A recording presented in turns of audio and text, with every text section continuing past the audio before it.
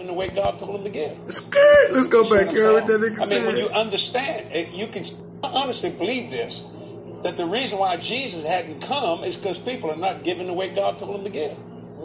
You see what I'm saying? I mean, when you understand, eh, you can speed up the time. I was on television. He said, I heard you was a millionaire. I said, that's not right. That's not true. He said, yes, it. I said, no, it's not. Multi. Now add that to it, you'll be all right. oh, he couldn't handle that. He like to have had a fit. And I said, you mess with me, I'll buy this station and I'll fire you. Oh, he didn't like that. Did he? Did he? Uh, you know, that was a little fleshy, but it felt good.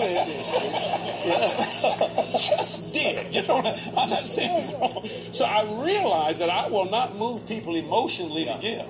No. I'm gonna have people move according to the word of God. What is God saying to you? And That I nigga going to hell. this.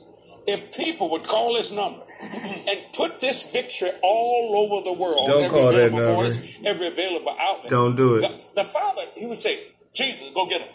Yeah. Because you see, he Bruh, wants to see he us going to much as we hell. to see him. If you follow see this nigga, you And going so right is there with him. All these things is, uh, uh, uh, it's because people are not doing in the financial realm because we live in an economic world what God's called them to do. You know, He's called us to do that. So I don't have a problem with giving. I don't have a problem with receiving.